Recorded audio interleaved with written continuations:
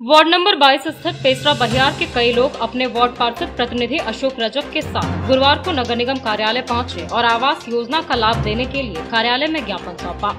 बताया गया कि ये लोग झोपड़ी या खपरेल मकान में रहते हैं और बरसात के मौसम में कितनों का घर और छत गिर चुका है। झुग्गी झोपड़ी में ये लोग जैसे तैसे रहने को विवश हैं।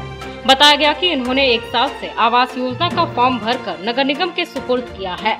लेकिन कोई कार्रवाई नहीं हो रही है। एक बार फिर तमाम लोगों ने यहाँ सरकारी आवास मुहैया कराने की मांग की। मौके पर कौशल्या देवी, कविता देवी, लक्ष्मी देवी, चंद्रिका देवी, जितनी देवी, जसवा देवी, सुनीता देवी, संजू देवी, गीता देवी आदि ने अपनी मांगों को यहाँ पुरजोर ढंग से रखा। वार्ड नंबर बाईस का मामला है। पूरे क्षेत्र सीसीएल में आता है। और एक भी आवास नहीं मिला वहाँ पर नगर निगम द्वारा। और वहाँ के सभी जनता जो सा अधिकतर गरीब परिवार से आते हैं।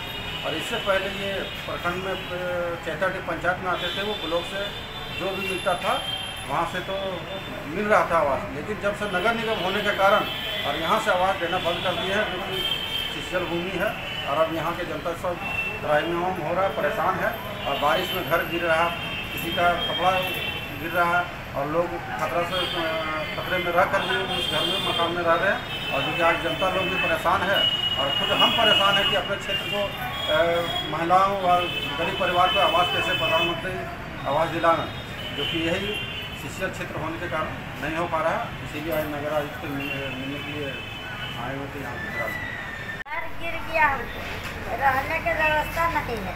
जाके इंक्वायरी कर लीजिए। एक जाता जाता कॉलोनी इतने रह जाता। हमको एकदम दस साल से परेशान है। अरे नाली भी ना है एकदम घर में पानी पूरा घुस जाता है।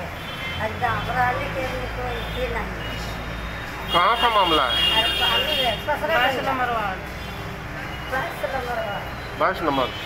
आए हम लोग यहाँ पे। इतना साल से रह रहे हैं हम लोग इतना पानी का तकलीफ़ हो गया है। घर रहने का नहीं है टूट गया है घर। हम लोग कहाँ जाए किससे बोले? यहाँ पर ही बोले मुखिया जी की भी बोल रहे हैं कुछ भी नहीं हो रहा हम लोग का। दस पंद्रह साल हो गया है। घर में कपड़ा का मकान है, बच्चा का मकान है। अभी पानी में गिर गया है घर। हम लोग कहाँ जाए? किससे मदद मांगे? सरकार भी मदद नहीं करता।